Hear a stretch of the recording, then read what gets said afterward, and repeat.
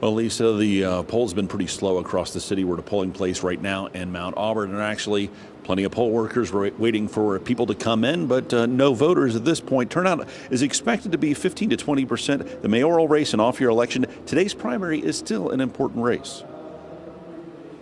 We've added 7,500 jobs. We put 100 cops on the street. We've balanced the budget. We're investing in neighborhoods, and I think we should uh, we shouldn't turn back now on that progress.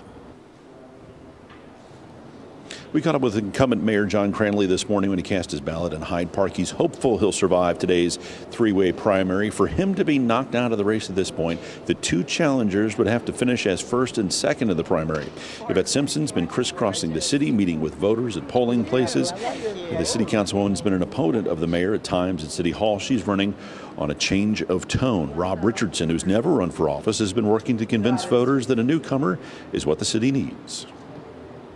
Well, people are going to see a big difference in this administration. We're going to be out in the community. One of the first things we're going to do is create some offices out in community. I want to have mayoral offices in communities where people can come up. While we have three candidates, you really only have two choices. You have a choice between the incumbents who I don't think have provided the long-term leadership that the city needs, or um, me, which we're going to embrace a different path, an innovative leadership path where we can work together, work for the long term, and not just focus on the next political moments.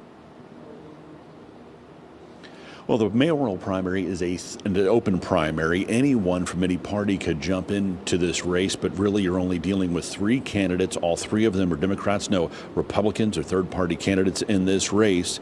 And the decision will be made today who will be facing off in November. Reporting live, Andrew Setters, WLWT News 5. All right, Andrew, thank you. And we will have all of your election results covered tonight on air and on WLWT.com as they come into the newsroom.